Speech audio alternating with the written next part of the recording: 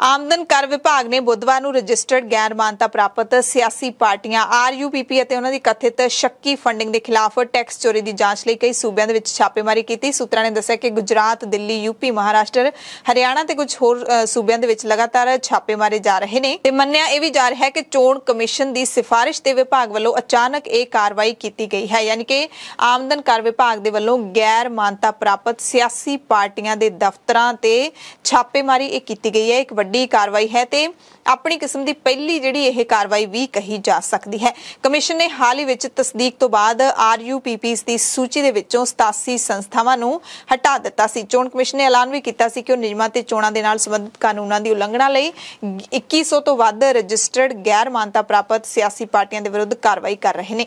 ਇਸੇ ਤਰ੍ਹਾਂ ਸੀਬੀਆਈ ਦੇ ਵੱਲੋਂ ਪੱਛਮੀ ਬੰਗਾਲ ਦੇ ਵਿੱਚ ਕੋਲਾ ਤਸਕਰੀ ਮਾਮਲੇ ਵਿੱਚ ਫਸੇ ਹੋਏ ਕਾਨੂੰਨ ਮੰਤਰੀ ਦੇ ਟਿਕਾਣਿਆਂ ਤੇ ਛਾਪੇਮਾਰੀ ਕੀਤੀ। ਆਸਨਸੋਲ ਦੇ ਵਿੱਚ ਈਸਟਰਨ ਕੋਲ ਫੀਲਡਜ਼ ਲਿਮਟਿਡ ਦੀਆਂ ਖਾਣਾਂ ਦੇ ਵਿੱਚੋਂ ਕੋਲੇ ਦੀ ਕਥਿਤ ਤਸਕਰੀ ਦੇ ਮਾਮਲੇ ਦੇ ਵਿੱਚ ਇਹ ਛਾਪਾ ਮਾਰਿਆ ਗਿਆ। ਕਾਨੂੰਨ ਮੰਤਰੀ ਮਲਯਾ ਘਟਕ ਦੇ ਟਿਕਾਣੇ ਤੇ, ਜੋ ਕਿ ਇਸ ਵਕਤ ਪੱਛਮੀ ਬੰਗਾਲ ਦੇ ਕਾਨੂੰਨ ਮੰਤਰੀ ਨੇ। ਪੰਜਾਬ ਦੇ ਮੁੱਖ ਮੰਤਰੀ ਭਗਵੰਤ ਸਿੰਘ ਮਾਨ ਨੇ ਪ੍ਰਧਾਨ ਮੰਤਰੀ mega integrated textile region and apparel parks, ਯਾਨੀ ਕਿ ਪੀਐਮ ਮਿੱਤਰਾ ਸਕੀਮ ਦੇ ਅਧੀਨ ਟੈਕਸਟਾਈਲ ਪਾਰਕ ਸਥਾਪਿਤ ਕਰਨ ਦੇ ਲਈ ਕੱਪੜੇ ਬਣਾਉਣ ਵਾਲਾ ਇਹ ਹੱਬ ਹੁੰਦਾ ਹੈ। ਉਸ ਨੂੰ ਸਥਾਪਿਤ ਕਰਨ ਦੇ ਲਈ ਫਤਿਹਗੜ੍ਹ ਸਾਹਿਬ ਜ਼ਿਲ੍ਹੇ ਦੇ ਵਿੱਚ 1000 ਏਕੜ ਜ਼ਮੀਨ ਭਾਰਤ ਸਰਕਾਰ ਨੂੰ ਦੇਣ ਦੀ ਪੇਸ਼ਕਸ਼ ਕੀਤੀ ਹੈ। ਮੁੱਖ ਮੰਤਰੀ ਨੇ ਕੇਂਦਰੀ ਕੱਪੜਾ ਮੰਤਰੀ ਪਿਊਸ਼ ਗੋਇਲ ਨੂੰ ਚਿੱਠੀ ਭੇਜ ਕੇ ਫਤਿਹਗੜ੍ਹ ਸਾਹਿਬ ਦੀ ਪਵਿੱਤਰ ਧਰਤੀ ਤੇ ਇਸ ਵਕਾਰੀ ਪ੍ਰੋਜੈਕਟ ਨੂੰ ਸਥਾਪਿਤ ਕਰਨ ਦੀ ਇੱਛਾ ਪ੍ਰਗਟਾਈ ਹੈ। ਮੁੱਖ ਮੰਤਰੀ ਨੇ ਸਪਸ਼ਟ ਤੌਰ ਤੇ ਕਿਹਾ ਕਿ ਸੂਬੇ ਨੂੰ ਉਦਯੋਗਿਕ ਵਿਕਾਸ ਦੇ ਨਕਸ਼ੇ ਉੱਤੇ ਉਭਾਰੇਗਾ। ਉਹਨਾਂ ਸਪਸ਼ਟ ਕੀਤਾ ਕਿ ਇਸ ਮੈਗਾ ਪਾਰਕ ਦੀ ਸਥਾਪਨਾ ਕਰਦੇ ਸਮੇਂ ਕੇਂਦਰ ਅਤੇ ਸੂਬੇ ਦੇ ਪ੍ਰਦੂਸ਼ਣ ਕੰਟਰੋਲ ਬੋਰਡਾਂ ਦੇ ਵੱਲੋਂ ਨਿਰਧਾਰਿਤ ਸਾਰੀਆਂ ਵਾਤਾਵਰਣ ਪ੍ਰਵਾਨਗੀਆਂ ਤੇ ਮਾਪਦੰਡਾਂ ਦਾ ਪਾਲਣ ਕੀਤਾ ਜਾਊਗਾ। ਕਿਤੇ ਵੀ ਵਾਤਾਵਰਣ ਨੂੰ ਜਿਹੜਾ ਨੁਕਸਾਨ ਨਹੀਂ ਪਹੁੰਚਾਇਆ ਜਾਵੇਗਾ, ਇਸ ਪ੍ਰੋਜੈਕਟ ਦੇ ਲਈ ਬੁਨਿਆਦੀ ਲੋੜਾਂ ਦੇ ਵਿੱਚੋਂ ਇੱਕ ਇਹ ਹੈ ਕਿ ਇਸ ਪ੍ਰੋਜੈਕਟ ਲਈ ਇੱਛੁਕ ਸੂਬਾ ਸਰਕਾਰ ਦੇ ਕੋਲ 1000 ਏਕੜ ਜ਼ਮੀਨ ਦਾ ਰਕਬਾ ਇੱਕ ਥਾਂ ਤੇ ਮੌਜੂਦ ਹੋਣਾ ਚਾਹੀਦਾ ਹੈ। ਤੇ ਪੰਜਾਬ ਸਰਕਾਰ ਨੇ ਇੱਕ ਹੋਰ ਚੰਗਾ ਫੈਸਲਾ ਲਿਆ ਹੈ। ਸ਼ਹਿਰੀ ਖੇਤਰਾਂ ਦੇ ਵਿੱਚੋਂ ਵਧੇਕ ਡਿਪਟੀ ਕਮਿਸ਼ਨਰ ਦੀ ਅਸਾਮੀ ਨੂੰ ਖਤਮ ਕਰਨ ਦੇ ਲਈ ਨੋਟੀਫਿਕੇਸ਼ਨ ਜਾਰੀ ਕੀਤਾ ਹੈ। ਪਿਛਲੀ ਕਾਂਗਰਸ ਸਰਕਾਰ ਦੇ ਰਾਜ ਵਿੱਚ ਵਧੀਕ ਡਿਪਟੀ ਕਮਿਸ਼ਨਰ ਸ਼ਹਿਰੀ ਵਿਕਾਸ ਦਾ ਅਹੁਦਾ ਬਣਾਇਆ ਗਿਆ ਸੀ, ਪਰ 2 ਦਿਨ ਪਹਿਲਾਂ ਪੰਜਾਬ ਮੰਤਰੀ ਮੰਡਲ ਦੀ ਮੀਟਿੰਗ ਦੇ ਵਿੱਚ ਫੈਸਲਾ ਲਿਆ ਗਿਆ ਕਿ ਇਸ ਪੋਸਟ ਦੀ ਕੋਈ ਲੋੜ ਨਹੀਂ ਹੈ। ਇਹ ਪੋਸਟ ਪੰਜਾਬ ਦੇ ਖਜ਼ਾਨੇ ਤੇ ਵਾਧੂ ਬੋਝ ਹੈ। ਸਿਰਫ 6 ਜ਼ਿਲ੍ਹਿਆਂ ਦੇ ਵਿੱਚ ਇਹ ਪੋਸਟ ਰਹੇਗੀ, ਬਾਕੀ ਸਭ ਕਿਤੇ ਇਹ ਖਤਮ ਕਰ ਦਿੱਤੀ ਗਈ ਹੈ। ਜਿਹੜੇ ਜ਼ਿਲ੍ਹਿਆਂ ਦੇ ਵਿੱਚ ਰਹੇਗੀ, ਉਹਨਾਂ ਦੇ ਵਿੱਚ ਅੰਮ੍ਰਿਤਸਰ, ਜਲੰਧਰ, ਲੁਧਿਆਣਾ, ਪਟਿਆਲਾ, ਬਠਿੰਡਾ ਤੇ ਮੋਹਾਲੀ ਦੇ ਜ਼ਿਲ੍ਹੇ ਸ਼ਾਮਲ ਨੇ ਬਾਕੀ ਸ਼ਹਿਰਾਂ ਦੇ ਵਿੱਚੋਂ ਪੋਸਟ ਖਤਮ ਕਰ ਦਿੱਤੀ ਗਈ ਹੈ। ਪਰ ਜਿੱਥੇ ਸਰਕਾਰ ਨੇ ਖਜ਼ਾਨੇ ਨੂੰ ਬਚਾਉਣ ਦੀ ਇਹ ਕੋਸ਼ਿਸ਼ ਕੀਤੀ ਹੈ, ਉੱਥੇ ਨਾਲ ਹੀ ਖਜ਼ਾਨੇ ਨੂੰ ਖੋਰਾ ਲਾਉਣ ਵਾਲਾ ਵੀ ਐਲਾਨ ਕੀਤਾ ਹੈ। ਮਾਨਸਾ ਜ਼ਿਲ੍ਹੇ ਸਮੇਤ 8 ਜ਼ਿਲ੍ਹਿਆਂ ਦੇ ਯੋਜਨਾ ਬੋਰਡ ਦੇ ਚੇਅਰਮੈਨ ਵੀ ਮੁੱਖ ਮੰਤਰੀ ਮਾਨ ਨੇ ਨਿਯੁਕਤ ਕਰ ਦਿੱਤੇ ਨੇ। ਯਾਨੀ ਕਿ ਇਹ ਉਹ ਦਿਨ ਵੀ ਚੱਲ ਰਹੇ ਨੇ ਜਦੋਂ ਮੁੱਖ ਮੰਤਰੀ ਮਾਨ ਬੋਰਡਾਂ ਤੇ ਕਾਰਪੋਰੇਸ਼ਨਾਂ ਦੀਆਂ ਚੇਅਰਮੈਨੀਆਂ ਰਿਓੜੀਆਂ ਦੇ ਵਾਂਗੂ ਵੰਡ ਰਹੇ ਨੇ। ਨਵੀਂ ਦਿੱਲੀ ਮਿਊਨਿਸਪਲ ਨਿਗਮ ਯਾਨੀ ਕਿ ਐਨਡੀਐਮਸੀ ਨੇ ਰਾਜਪਥ ਦਾ ਨਾਮ ਬਦਲ ਕੇ ਕਰਤਵਯ ਪਥ ਰੱਖਣ ਦਾ ਮਤਾ ਪਾਸ ਕਰ ਦਿੱਤਾ ਹੈ। ਐਨਡੀਐਮਸੀ ਮੈਂਬਰ ਮੀਨਾਕਸ਼ੀ ਲੇਖੀ ਨੇ ਦੱਸਿਆ ਕਿ ਐਨਡੀਐਮਸੀ ਕੌਂਸਲ ਦੀ ਵਿਸ਼ੇਸ਼ ਮੀਟਿੰਗ ਦੇ ਵਿੱਚ ਮਤਾ ਪਾਸ ਕੀਤਾ ਗਿਆ ਸੀ। ਲੋਕ ਸਭਾ ਮੈਂਬਰ ਵੀ ਨੇ ਮੀਨਾਕਸ਼ੀ ਲੇਖੀ ਬੀਜੇਪੀ ਤੋਂ।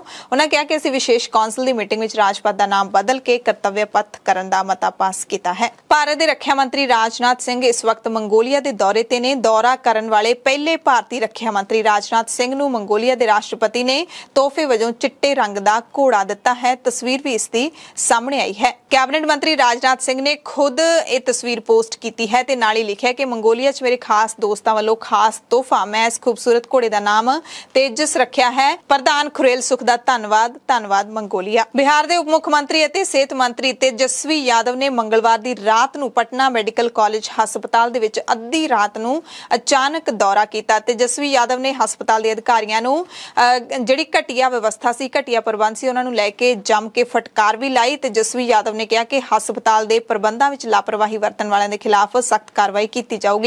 ਯਾਦਵ ਹਸਪਤਾਲ ਦੇ ਪ੍ਰਬੰਧ ਦੇਖ ਕੇ ਹੈਰਾਨ ਰਹਿ ਗਏ। ਦੇਖਿਆ ਕਿ ਮਰੀਜ਼ ਫਰਸ਼ ਤੇ ਲੇਟੇ ਹੋਏ ਨੇ, ਗੰਦਗੀ ਫੈਲੀ ਹੋਈ ਹੈ।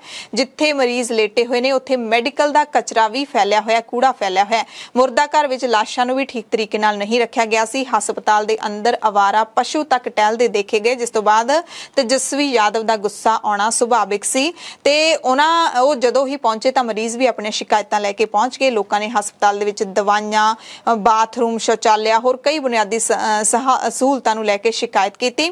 ਤੇਜਸਵੀ ਯਾਦਵ ਨੇ ਰਾਤ ਨੂੰ ਸੀਨੀਅਰ ਡਾਕਟਰਾਂ ਦੇ ਨਾ ਹੋਣ ਤੇ ਵੀ ਹੈਰਾਨੀ ਤੇ ਨਾਰਾਜ਼ਗੀ ਜਤਾਈ ਅਤੇ ਦੌਰੇ ਤੋਂ ਬਾਅਦ ਪੀਐਮਸੀਐਚ ਦੇ ਜਿਹੜੇ ਪ੍ਰਬੰਧਕ ਸੀ, ਉਹ ਇੱਥੇ ਪਹੁੰਚ ਗਏ, ਪ੍ਰਬੰਧਾਂ ਨੂੰ ਠੀਕ ਕਰਨ ਦੇ ਵਿੱਚ ਲੱਗ ਗਏ। ਬਰਤਾਨੀਆ ਤੋਂ ਖਬਰ ਹੈ ਜਿੱਥੇ ਬਰਤਾਨੀਆ ਨੂੰ ਨਵੀਂ ਪ੍ਰਧਾਨ ਮੰਤਰੀ ਮਿਲਣ ਤੋਂ ਬਾਅਦ ਭਾਰਤੀ ਮੂਲ ਦੇ ਆਲੋਕ ਸ਼ਰਮਾ ਤੇ ਸੁਏਲਾ ਬ੍ਰੇਵਰਮੈਨ ਨੂੰ ਵੀ ਬਰਤਾਨੀਆ ਦੀ ਨਵਨਿਯੁਕਤ ਪ੍ਰਧਾਨ ਮੰਤਰੀ ਲਿਸ ਟਰਸ ਦੀ ਕੈਬਨਿਟ ਦੇ ਵਿੱਚ ਸ਼ਾਮਿਲ ਕੀਤਾ ਗਿਆ ਹੈ। ਬੁੱਧਵਾਰ ਨੂੰ 10 ਡਾਊਨਿੰਗ ਸਟਰੀਟ ਦੇ ਵਿੱਚ ਹੋਣ ਵਾਲੀ ਪਹਿਲੀ ਮੀਟਿੰਗ ਦੇ ਵਿੱਚ ਸ਼ਾਮਿਲ ਹੋਏ ਨੇ। ਸੁਏਲਾ ਬ੍ਰੇਵਰਮੈਨ ਨੂੰ ਗ੍ਰਹਿ ਮੰਤਰੀ ਨਿਯੁਕਤ ਕੀਤਾ ਗਿਆ ਹੈ। ਇਹ ਉਹਨਾਂ ਦੇ ਲਈ ਨਵੀਂ ਸ਼ੁਰੂਆਤ ਹੈ। ਇਸ ਤੋਂ ਪਹਿਲਾਂ ਉਹ ਅਟਾਰਨੀ ਜਨਰਲ ਸਨ। ਮੰਗਲਵਾਰ ਸ਼ਾਮ ਨੂੰ ਆਪਣੀ ਨਿਯੁਕਤੀ ਦੇ ਤੁਰੰਤ ਬਾਅਦ ਗ੍ਰਹਿ ਮੰਤਰਾਲੇ ਦਾ ਚਾਰਜ ਉਹਨਾਂ ਨੇ ਸਾਂਭ ਲਿਆ। ਇਸ ਸੰਬੰਧੀ ਮੰਗਲਵਾਰ ਨੂੰ ਵਾਈਟ ਹਾਊਸ ਵੱਲੋਂ ਸੰਸਦ ਨੂੰ ਚਿੱਠੀ ਵੀ ਭੇਜੀ ਗਈ ਹੈ। ਜੇ ਸੰਸਦ ਸੁਬਰਾਮਨੀਅਮ ਦੇ ਨਾਮ ਨੂੰ ਮਨਜ਼ੂਰੀ ਦਿੰਦੀ ਹੈ, ਤਾਂ ਉਹ ਨਿਊਯਾਰਕ ਦੀ ਦੱਖਣੀ ਜ਼ਿਲ੍ਹਾ ਅਦਾਲਤ ਦੇ ਜੱਜ ਬਣਨ ਵਾਲੇ ਪਹਿਲੇ ਦੱਖਣੀ ਏਸ਼ੀਆਈ ਹੋਣਗੇ। ਚੀਨ ਤੇ ਨਿਰਭਰਤਾ ਘਟਾਉਣ ਦੇ ਲਈ ਅਮਰੀਕਾ ਨੇ ਵੱਡਾ ਕਦਮ ਚੁੱਕਿਆ ਹੈ। 50 ਅਰਬ ਡਾਲਰ ਦਾ ਨਿਵੇਸ਼ ਤੈਅ ਕੀਤਾ ਹੈ। ਅਮਰੀਕਾ ਦੇ ਵਿੱਚ ਬਾਈਡਨ ਦੀ ਸਰਕਾਰ ਨੇ ਕਿਹਾ ਕਿ ਉਹ ਕੰਪਿਊਟਰ ਚਿਪਸ ਦੇ ਵਿੱਚ 50 ਬਿਲੀਅਨ ਡਾਲਰ ਦਾ ਨਿਵੇਸ਼ ਕਰਕੇ ਇਸ ਖੇਤਰ ਵਿੱਚ ਚੀਨ ਦੀ ਨਿਰਭਰਤਾ ਨੂੰ ਖਤਮ ਕਰ ਦੇਵੇਗਾ। ਯਾਨੀ ਕਿ ਹੁਣ ਅਮਰੀਕਾ ਨੇ ਠਾਣ ਲਈ ਹੈ ਕਿ ਉਹ ਚੀਨ ਨੂੰ ਇਸ ਕਾਰੋਬਾਰ ਦੇ ਵਿੱਚ ਪਿੱਛੇ ਕਰ ਦੇਵੇਗਾ, ਪਛਾੜ ਦੇਵੇਗਾ।